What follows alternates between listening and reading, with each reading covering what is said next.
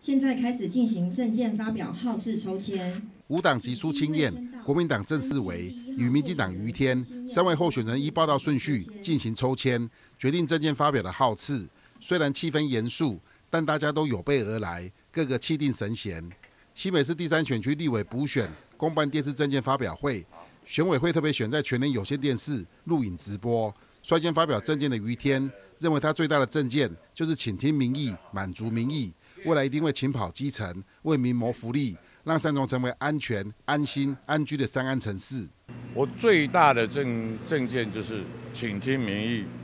然后满足民意。一般反映的就是托育啊，这个小孩子的问题、治安的问题，还有譬如说那个监视器的问题啊，东东现在已经都有些都坏了，只有一个单位在处理。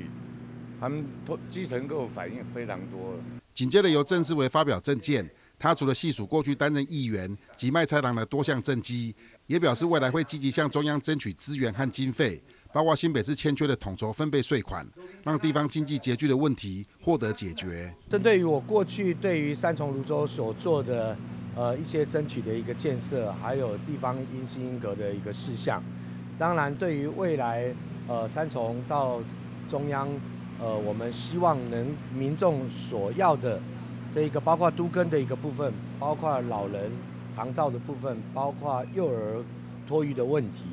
还有最重要的就是呃新北市政府所欠缺啊中央给的统筹分配税款。这场精彩的证件发表会，除了在全联有线电视零三台及 YouTube 直播外，也将于三月九日下午六点。在零三台公用频道重播，欢迎市民朋友准时收看。凯播大台北四位新闻，罗荣宏采访报道。